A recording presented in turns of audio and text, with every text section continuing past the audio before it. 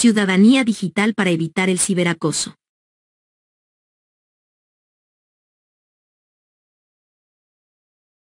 Presentación.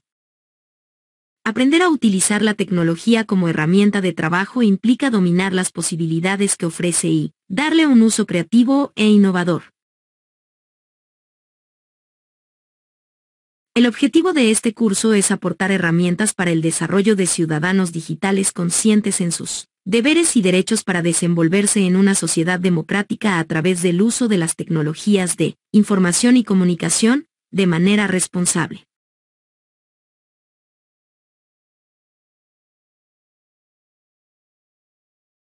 Módulo 1. ¿Qué es la ciudadanía digital?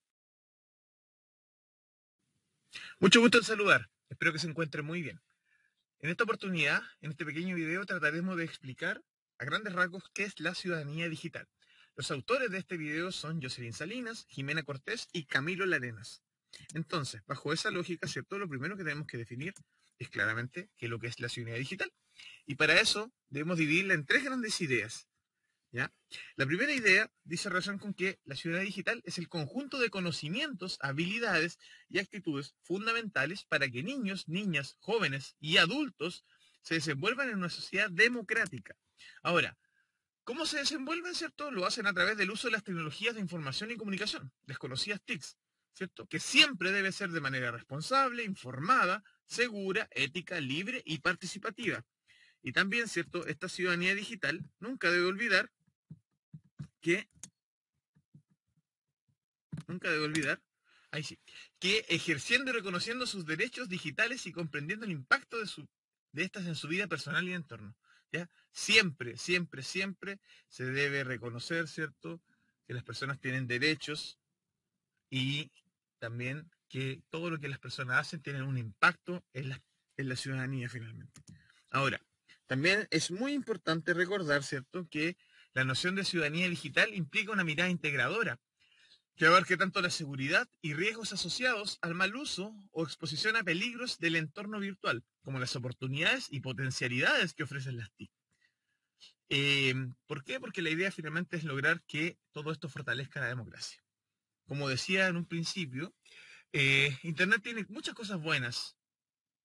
Sin embargo, también tiene cosas malas. Es importante entonces, en este contexto, ¿cierto?, utilizar aquello que es positivo de Internet, rescatarlo para que de esta manera podamos nosotros enfrentarnos a un mundo digital que contribuya, que aporte, ¿cierto?, a fortalecer la democracia desde esa mirada. Eso es, a grandes rasgos, lo que busca la ciudadanía digital. Ahora, esta ciudadanía digital eh, tiene distintas dimensiones. Estas dimensiones, ¿cierto?, nosotros las podemos entender de la siguiente manera. La primera dimensión habla de la salud y bienestar digital. Entonces esto se refiere a la garantía y el cuidado del bienestar físico y mental que tenemos que nosotros tener a la hora de usar las tecnologías digitales.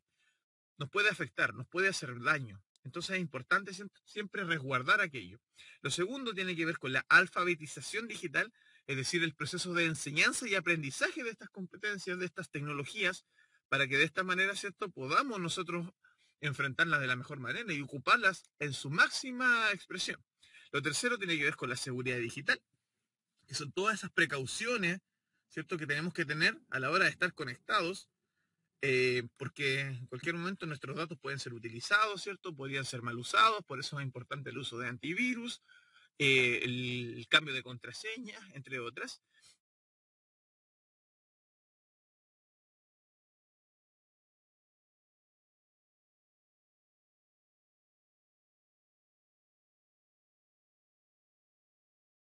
Es decir, no podemos...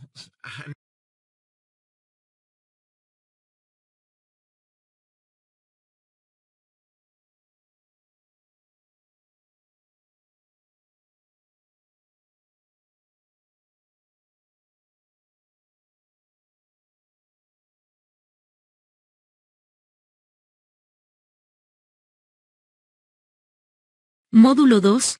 Así nos comunicamos. Internet es conocida como la red de redes ya que conecta redes de computadores a nivel global, lo que ha facilitado el desarrollo de otros servicios comúnmente utilizados como correo electrónico, redes sociales, buscadores, canales de video, radio y televisión, así como también diversos trámites y el desarrollo del comercio electrónico. Las y los estudiantes utilizan frecuentemente los servicios disponibles en Internet. Sin embargo, saben qué es Internet, cómo funciona, cómo ha evolucionado. Estas son algunas de las preguntas que les ayudarán a reflexionar sobre su desarrollo e importancia para la vida actual.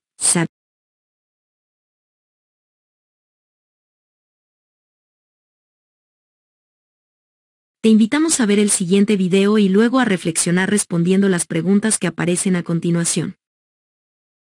El día de hoy, mi nombre es Jocelyn Salinas y los invito a ver el siguiente video. Espero que les guste.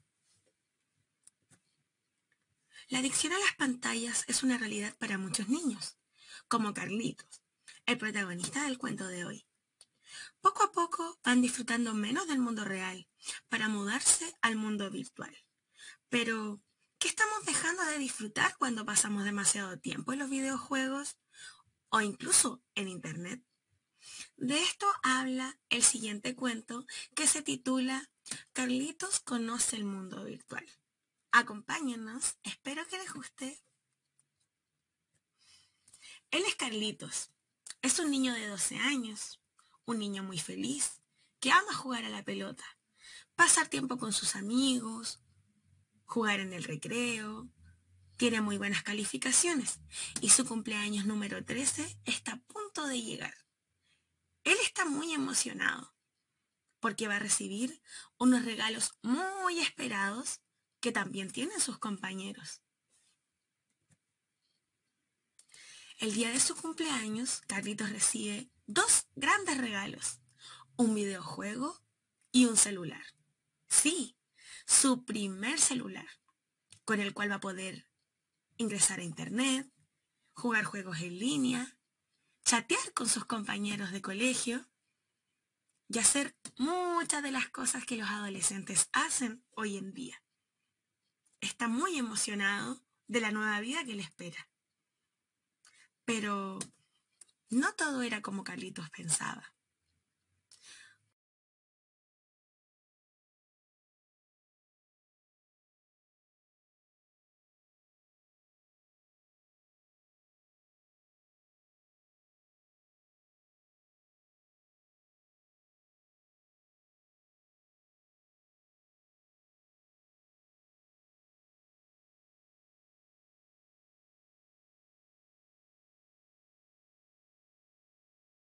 Módulo 3.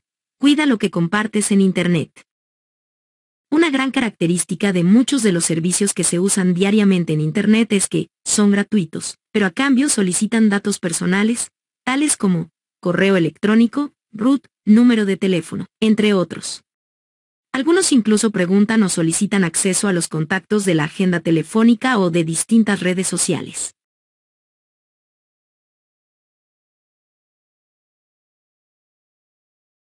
¿Qué es un dato personal? ¿Sabías que? En Internet nada se borra. Todo lo que hacemos va creando nuestra huella digital. La huella digital está formada por los rastros que dejamos al utilizar Internet. Comentarios en redes sociales, llamadas de Skype, el uso de aplicaciones, registros de correo electrónico.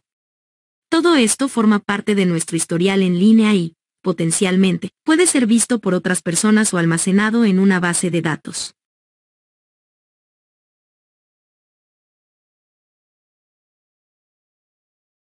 Módulo 4.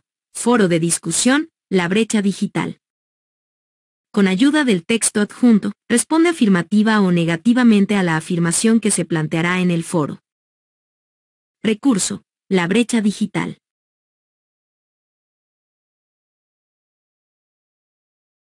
Módulo 5. Ciberacoso.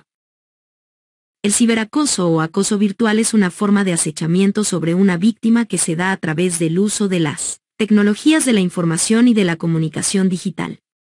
Así pues, es aquella forma de acosar a alguien haciendo uso de Internet y de las redes sociales, sin necesidad de que el acosador establezca un contacto, real o físico con la víctima, pues no requiere de cercanía.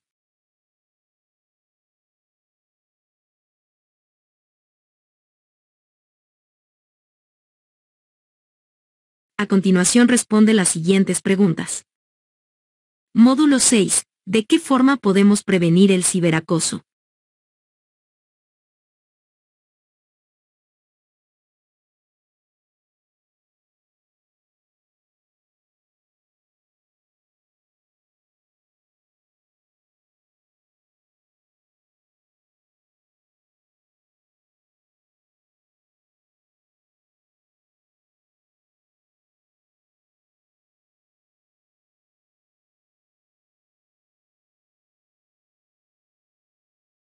Evaluación final.